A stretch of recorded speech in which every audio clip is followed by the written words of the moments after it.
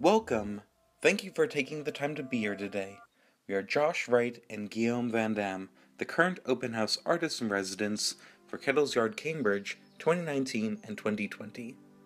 As part of the current exhibition Linderism by the British artist Linder, we were invited by the team at Kettle's Yard to create an artist led, guided meditation in the house. While we can't be with you in person, we thought we would try to bring the meditation to you, wherever you are in the world. Today, we're doing something a little different a guided meditation in the form of a visual essay that embraces the calming spirit of Kettle's Yard and Jim and Helen Ede. We have organized the meditation into three parts and used this structure to reflect on personal moments throughout our residency, as well as further investigate the writing of American artist Jack Goldstein, whose art became a key inspiration for our project, and the music of Nina Simone, whose personal struggles with mental health are lesser known today. We wanted to be conscious of the world we are living in now, which can feel overwhelming and chaotic for a lot of us. We saw this meditation as an opportunity to think about how to stay hopeful in uncertain times and continue to open up this conversation on mental health and well-being, the importance of expressing ourselves and whatever emotions we are feeling. Find a comfortable and quiet spot and close your eyes. When you're ready, we will begin.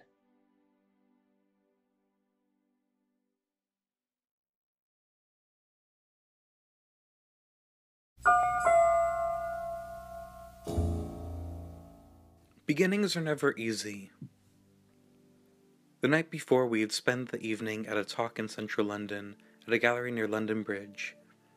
The fairy lights hung from the ceiling in neat lines, rows of flickering lights against the glass walls of the cafe. He wore a black blazer and blue sweater. We were both smiling. In the morning, we went to the house for the first time. It was April 3rd. I oddly deleted the first photo from my phone, but the others are still there. The white bowls and little jugs, white, brown with a caramel stripe, and a third in a light blue gray with brown lines.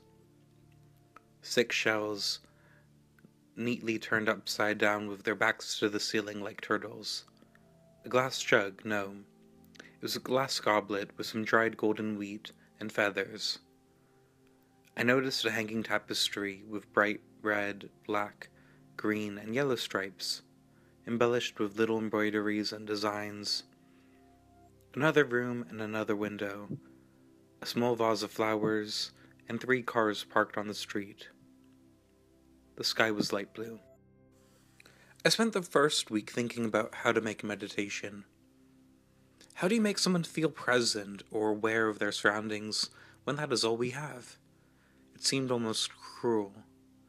You can focus on one single object, concentrating on the emptiness in your mind, but after a while you seem to go crazy. They joked about watering your plants, and here we were three weeks later, almost four. I tried to treat this as an exercise in memory, but inevitably struggled. It was over a year ago, and like everyone else, it was like I had no need for it now. Now that everything was online or could be saved to a cloud. Tried to remember what it was like coming to Cambridge for the first time that morning. Was I nervous? Excited? I can't remember. There was a small glass vase of flowers. There were two flowers with large white petals with a light pink accent, and a couple light purple hyacinths, the kind of flower that is usually seasonal in early spring, some dark leafy greens, and a kind of woody branch with no leaves at all. The water seemed so clear, and you could see the brown and green stems bow down into each other. It sat on its own by a window on a white ledge, and it must have been somewhere upstairs because you could see a shackled roof and a green tree below. I guess it's comforting to think that the trees must be green there now. We will now be taking turns reading mantras by the American artist Jack Goldstein, and if you get distracted, just focus on your breath. You'll keep track of time. When you hear a soft bell, you can open your eyes.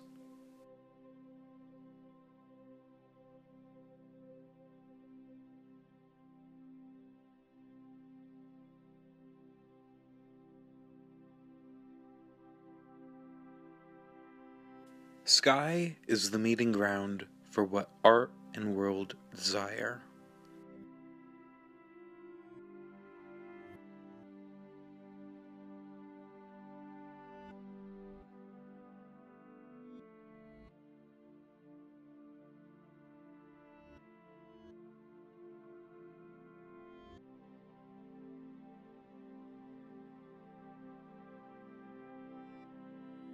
Art is not about wanting control over your subjective. Art is more about the futility of being conscious of your body in a world that makes your body out of sync.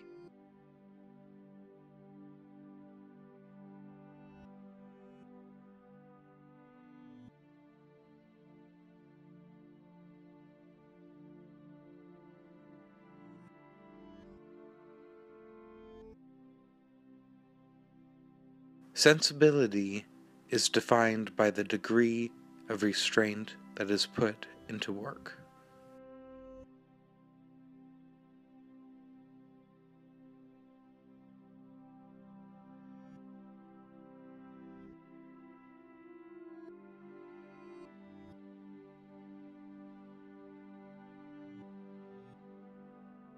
The result of expression only determines the limits of the self.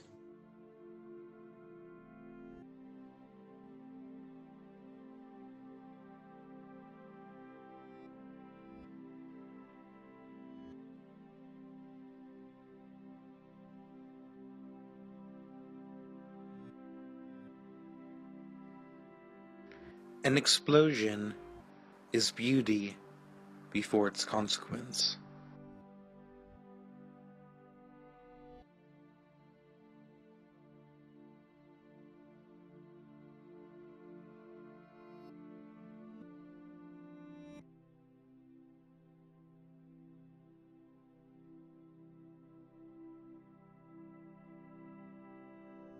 A close up of what can only be seen from a distance is as close as we can come to a true abstraction.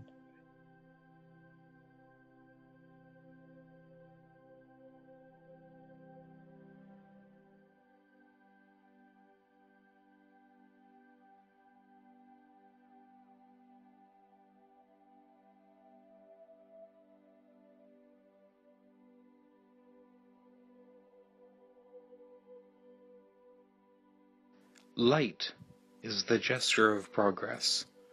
A far off view of the city at night gives a reading of the pulse of man.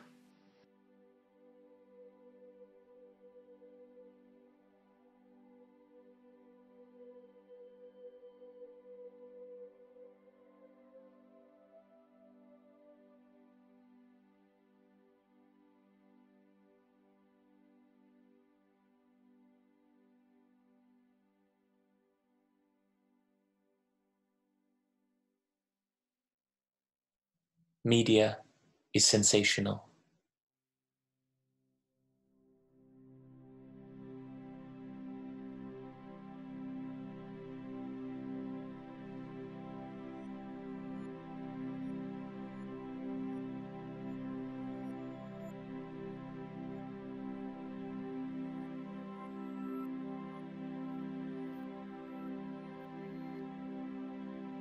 Opticality in art based on media actuates content.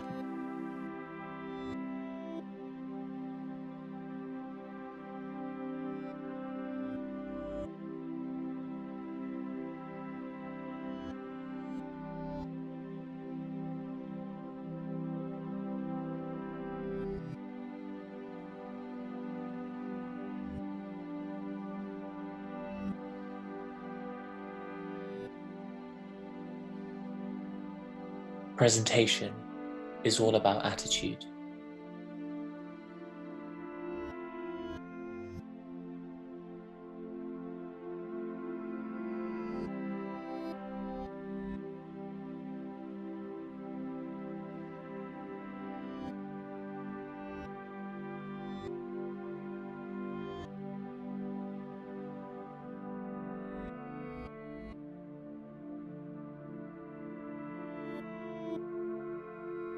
Media is what you represent when you're representing everyone.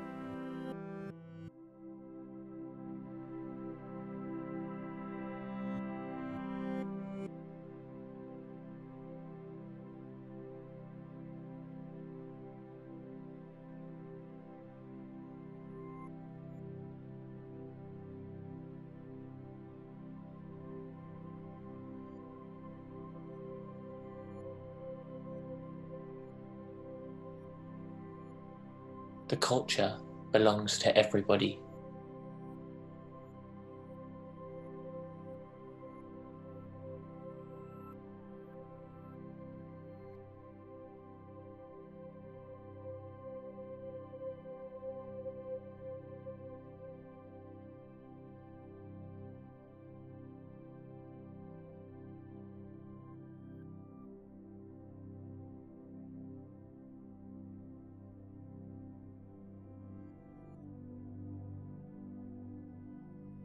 Art should be a trailer for the future.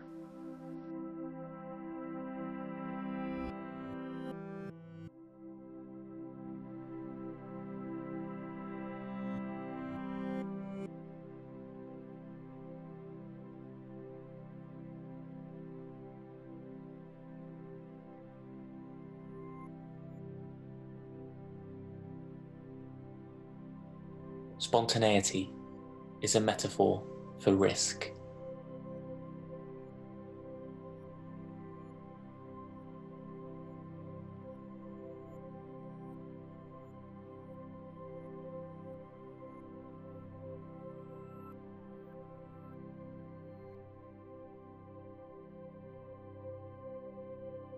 Dangerous objects are glamorous places to be.